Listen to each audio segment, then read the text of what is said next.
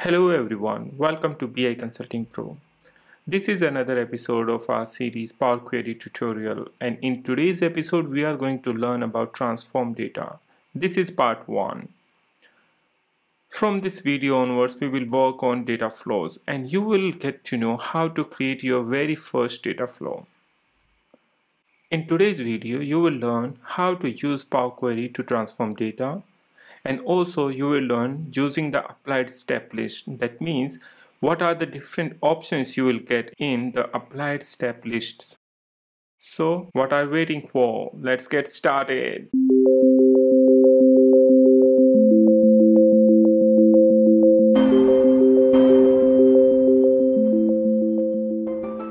If you are over here for the very first time, please consider to subscribe our channel and hit the bell icon for all the latest updates and videos. Now before starting today's video, you should note down to use data flows in Power BI, you should have at least Power BI Pro license or any of the higher license like Power BI Premium per user or Power BI Premium. Secondly, in this video, we are going to use Microsoft's Northwind OData feed. Link you can see on your screen right now. I'll also provide the same link in the description section so you can directly copy this link and start using it. Now, without wasting any time, let's start today's demo. So right now I'm on my Power BI service account. I have Power BI Pro license over here. And once you're over here on your Power BI service page, you can either create a new workspace where you want to create your data flow or you can use any existing one. So I'm going to use my existing workspace, which is my demo workspace. I'll go inside it. Once you are inside your workspace, you can directly click on the new. And once you will click new, you will find different options over here you can create your report you can create your paginated report or dashboard data set data flow streaming data sets or even you can upload your file directly over here. Click on data flow. Once you will click on the data flow you will get some other options on your window. One of them is define new tables and the other options are like link tables from the other data flows import model or attach a common data model folder what we are going to do today, we are gonna start with the define new tables because we are over here to create a new data flow. So let's click on add new tables. Over here, you will get all the data sources, all the different categories and some of the other options at the top like you can see the files, database, Power Platform, Azure, online services and others. So basically you will get plenty of the options to get data from your desired data source. So what we are going to do today, we can either come over here all categories and from here we can choose what we need and right now we are going to need of this OData. But if you are looking for some of the templates, templates also you can find at the bottom of your screen so you can get it from here. And also you should note down that this is Power Query choose data source window. That means we can create data flows directly in the Power BI service. If you know about the data source, then definitely you know all the points over here. But if you are new over here, then it's for you. Now, either we can choose from the all categories like OData feed or we can go to the other. You should note down under each of these icons, their category has been mentioned like for example JSON, it's from the file category. If you will see PDF, it's also from the file category. If you have ODBC, it's from the other category or if you have a terra database, it's from the database. Now what we are going to do, we are going to click OData feed or we can directly go to the other and here we can click OData feed. Now the URL that I just mentioned a couple of minutes before, you have to use the same URL over here and paste it. Once I'll paste my URL over here, it's gonna ask you credential required. So if you are using any database connection or something where you need to pass your credentials, then use them. Otherwise, we are gonna leave as it is right now. We are not gonna make any changes over here. Once you paste your URL and you select your authentication method, there are different authentication methods which we discussed in our previous videos of Power Query tutorial. So you can go back again and you can check the different kinds of authentications that Microsoft Power BI asked you once you start connecting with your data sources. Otherwise, you can just leave it as it is right now and we don't need any gateway because it's an online data source. Now click next. Once you will click next, you will find that on your left hand side there are many tables are appearing. That means you can select the data from whichever you want. So for example, if I'll click on customers, it would show you the preview of the data. So you can see what the data is, how it's appearing, what are the columns and all. And now once you select this one, it's gonna show you another option that is transform data, cancel, go back, or select related table. So it's basically the same as you feel or you experience on the Power BI desktop application where whenever you are trying to connect with any database, there is an option to select the related table. So you can do that too. For example, if I'll click select related, so it can select another table which is orders table, but we don't need it. So let me uncheck this one. Now once we select our table, we have to proceed further and here we are going to click transform data.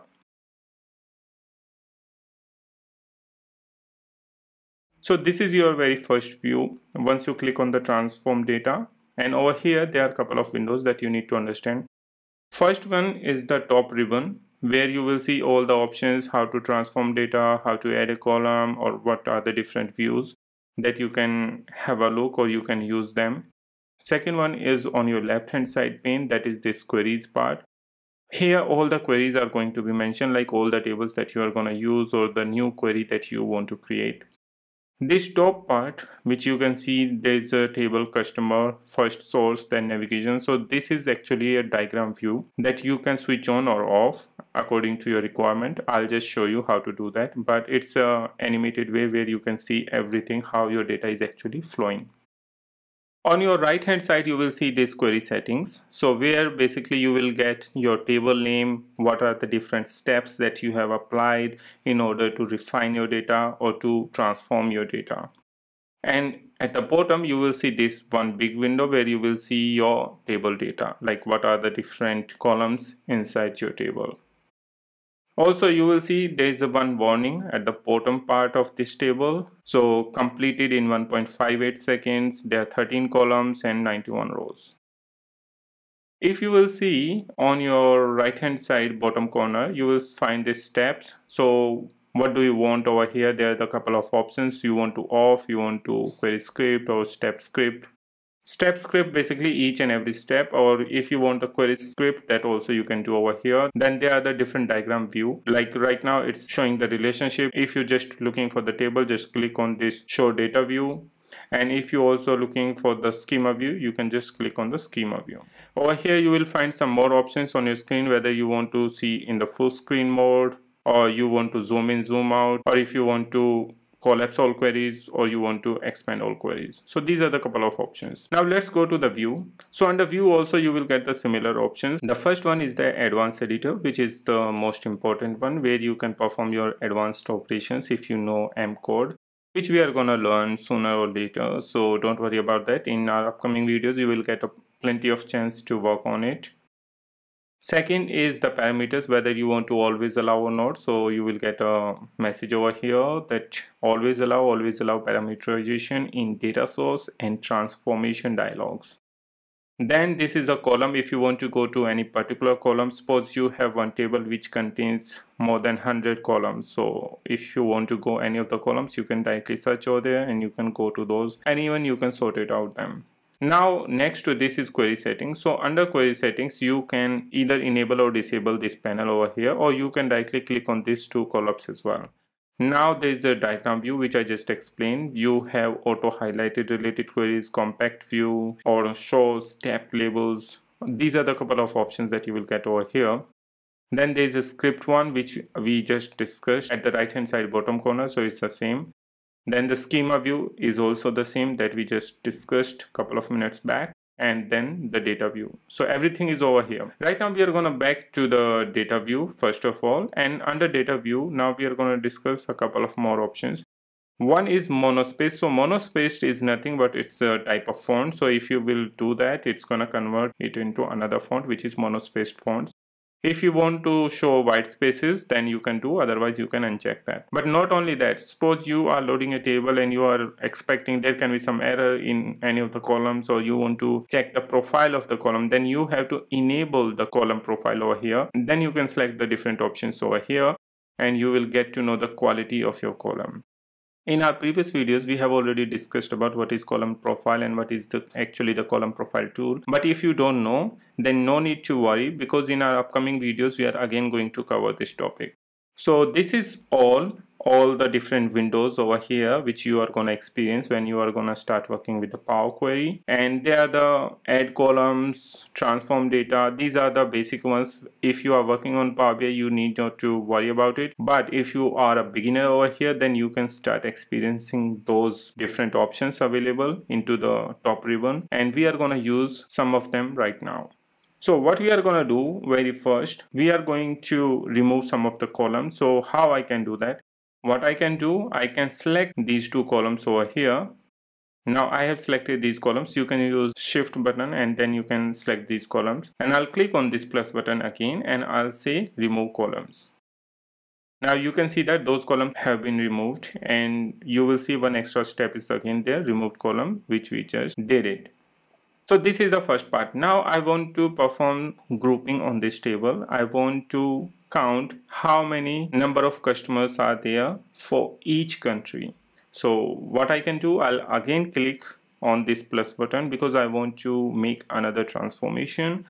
So click on it and here you want to find group by. So either you can scroll down like this or directly search it over here. Group by. Click on this. Now it's gonna ask you what is your condition? How you want to group your record so I'll say by country. And I want to name the column customer. You can change your column name over here. And what kind of operation you want? Count rows sum average. These are the different options over here. So you can say okay then click. Now you have to wait for some time. It's performing all the transformations and you can see that we have 21 rows over here and it has given me all the country names and the number of customers in all those countries Right now guys, I don't need really this column profile because it's consuming a lot of space over here. So I'm going to remove this so I can go again in the view pane. I'll go here and I'll uncheck this column profile. So it's not there anymore. Now what we are going to do, we are going to again get the data from the same source. This time instead of customer table, we are going to bring in supplier table so that we can get to know how many suppliers are there for each country. So again go to the home page get data now you can select directly from OData feed or you can even select the more option and here again you will get all the options available over here so select this paste the same URL click next and this time we are going to select the suppliers table. So let me check where is our supplier table. Here it is. So we'll say create. And now you will see at the bottom you have this suppliers table. We just want to perform only one operation over here and that is group by so again this time i'm gonna go after scrolling it down. Group by. Not by supplier id i want to group by country and i want to name it suppliers. Click ok. It will take some time. Now you can also see how query is running how much time it took to complete this operation. So, so it took only 9.23 seconds. And if you will go back in the navigation you will see there are 29 rows. And in order to just perform this operation it took 9 seconds only. And though it has to group by and it has to perform a very heavy operation over here but still it's quite fast. Now we have our supplier numbers per country. We have our customer numbers per country. So next I want to create a reference query. And for that if you would like to create any new reference query what you can do you can just right click on this and you can say reference. Either here you can copy it you can duplicate it but I'll prefer to reference it. So click on reference. Now you can name it. Over here we are saying country analysis. So I have given this table a new name that is country analysis. So you can guys rename your table or also you can perform a lot of other operations over here. If you want to see the property you want to put some description over here. You can do that. You can enable or disable the load as well. You can access the advanced query editor or append merge or some other options. And many of those in fact all of those options are available on this graphical user interface as well so the second part is that I want to merge query. I want to make a logical join between the suppliers and customer table and that should be my inner join so that I can get to know per country how many suppliers are there and how many customers are there. So either you can again click on these three dots ellipses and click the merge queries or rather than that on your this tool on your graphical user interface you can say merge query now it's going to ask you okay our left hand side table is right now our country analysis which is basically the reference of customer table now what would be the right hand side so i'll say right hand side would be my suppliers table at the bottom of the supplier table, you will find there are a couple of join options, which are the logical joins in SQL. So if you are coming from a background of SQL, I'm sure you know that. If you don't know that, please write down your comment in the description section and probably we are going to create another video on that. So right now I need the inner join. So if you, if you will just click on the inner join, you can see it's been highlighted and now just click OK. So if you will see over here, I click OK but it's still not working. There's a reason it's not working. Because we didn't select the column on which we want to perform the join over here. So join only works when you have a reference column as well. So first table or the left side table has the country. So on second also we have to select the country. And as soon as you will select it, it's gonna give you the number of rows that you're gonna get from this join. So just select OK now again you will see that you got your data over here. You have your country names you have customer names and from the supplier table you will see notice this icon which is saying expand it. Once you will expand you can select which column you want. So we already have the data from country so we don't want it. We just need the suppliers. Click ok.